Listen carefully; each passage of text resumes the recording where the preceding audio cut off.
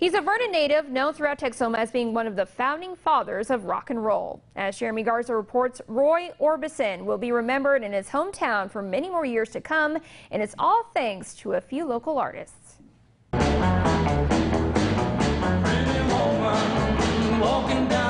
It is a known fact for many Texomans that music icon Roy Orbison was brought up in the town of Vernon and has been a staple ever since. Now, after a year of planning and weeks of work with the help of the Wichita Falls Alliance for Arts and Culture, the Vernon Chamber of Commerce is being flooded with compliments over the new Orbison mural done by local muralist Selena Mize. People who live here, they've commented and they've told me that it's beautiful and they're so glad that some art is like finally making its appearance here downtown.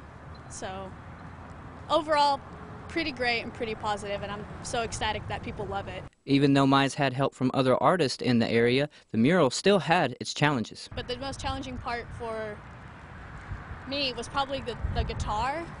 I'm not so skilled at inanimate objects, but the face was the easiest part for me.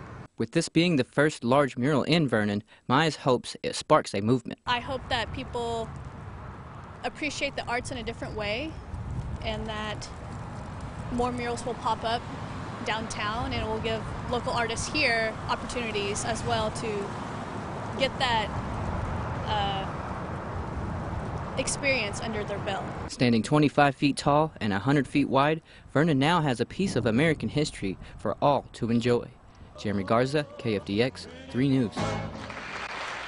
And if you'd like to take a trip down to Vernon to visit the Caruso of Rock, the Roy Orbison mural is located on the side of the Red Ball Boot and Shoe Repair Building just off of Vernon's Main Street there. It was actually a joint project of the Wichita Falls Alliance for Arts and Culture and the city of Vernon.